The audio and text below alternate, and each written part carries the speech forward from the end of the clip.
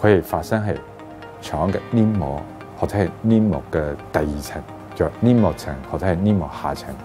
咁發生喺呢兩層之後咧，佢黏膜層、黏膜下層嘅時候有血管嘅。咁所以有潰瘍之後咧，佢好容易導致第一個腹瀉啦。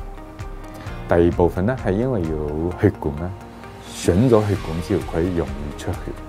第三個咧就係話，因為要腹瀉啦，要出血啦，佢好容易要肚痛。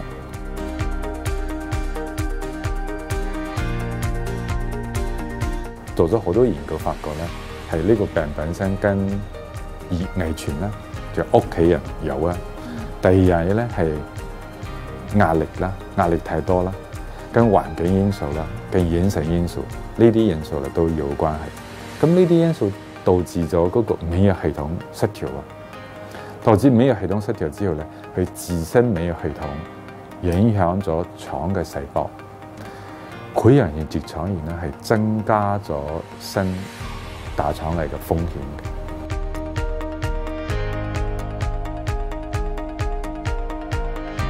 潰瘍咧其實跟腸胃炎有好大分別嘅。咁一般嘅腸胃炎咧係因為誒、可能食咗食得唔啱啊，或者係話細菌感染啊，或者係病毒嘅。咁喺腸裡面有啲發炎之後導致嘅腹瀉啊。個通常咧，我哋話腸胃炎係急性嘅，係短嘅，兩三日、一兩日，或者係最多一個星期嘅啫。但係潰瘍性直腸炎咧，佢有個好大唔同。不過我哋講咧，如果呢種情況持續超過六個星期，我哋 suggest 佢應該去睇醫生去做檢查，因為好多腸胃病咧都係要腹瀉啊、腹痛嘅情況。不過咧，如果持續咁長時間咧，係好容易懷疑佢。有可能係腸嘅潰瘍，咁點辦咧？